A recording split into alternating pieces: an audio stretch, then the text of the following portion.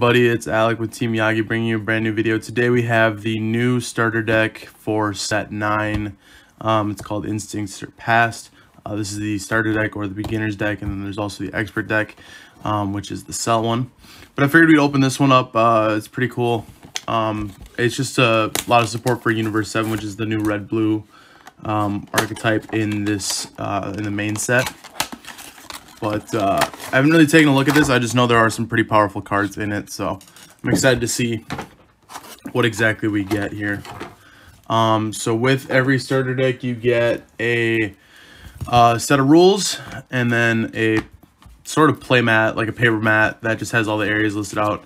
Um, I think the rules are the only difference is they added the Invoker, which is the new mechanic, as well as Successor. And those both came out with this set. But let me see if I can find the little tear. There we go. All right. So this is a 51 card deck, uh, 50 battle, 50 battle and extra cards, and then one leader. And the leader we get is Son Goku.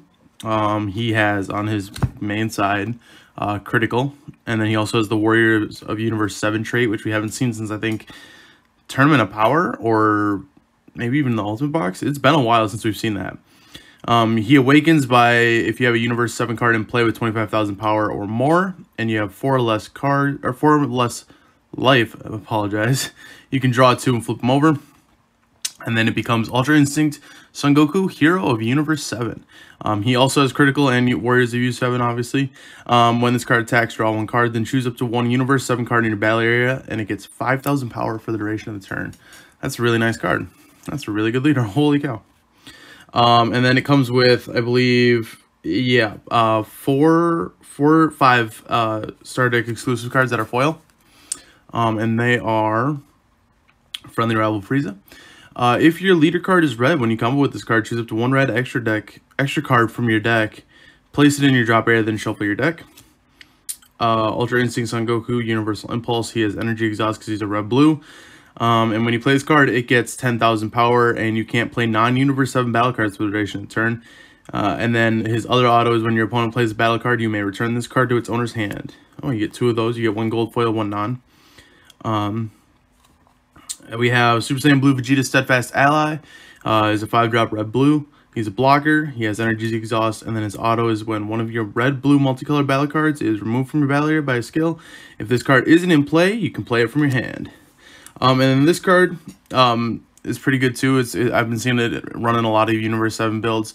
Um, it is We're in this together. Uh, extra card uh, has energy exhaust because it's red blue. Uh, it has an activate main of if your leader card is a Universe 7 card, choose all your opponent's battle cards with 25,000 power or less and KO them. And then its other activate main is you can tap one red, and if your leader card is Universe 7, you can add this card from the drop to your hand. So you can kind of just recycle it. So that's pretty cool. And then we have the non-foils of those three cards there. So those are the Star Deck exclusives. Um, we get one Senzu Bean, which is a really good card. Really nice uh, little inclusion there. I wish you got more than one, but one is one is one is good, so I'll take it. Uh, we get four After Image Technique, uh, two Tien Shinhan Spirit Vanisher. Um, these are this is from the new set.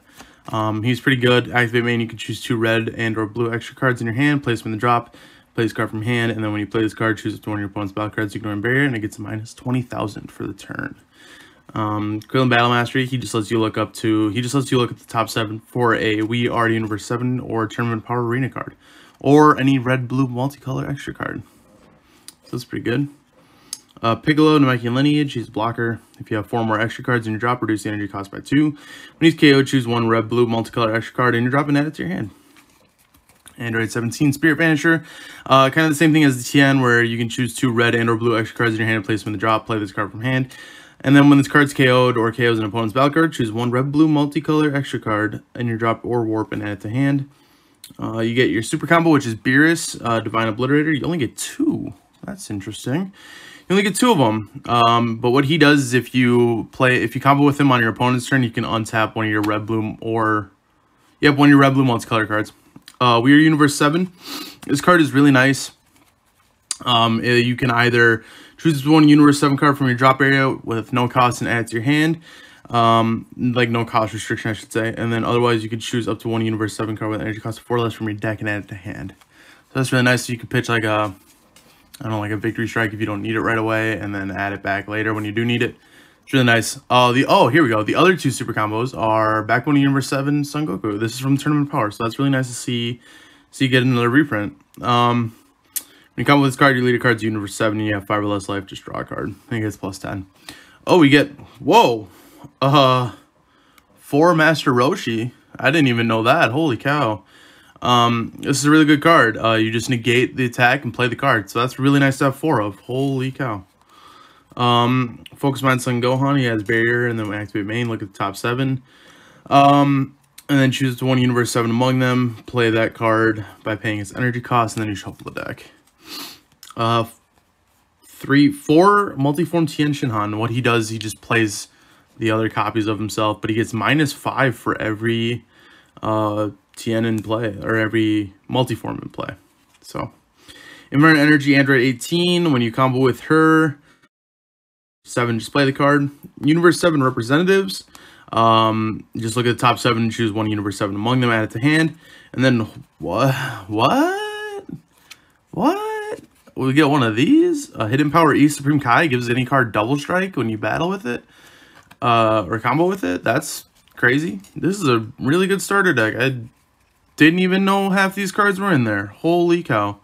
Um, anyway, I would definitely recommend picking this up if you need some of these cards, especially, you know, uh, Universe 7 Reps. That's a good card to have for any Universe 7 deck. And then, obviously, the Roshi, the Bean, and then East Supreme Kai. Like, Holy cow, dude.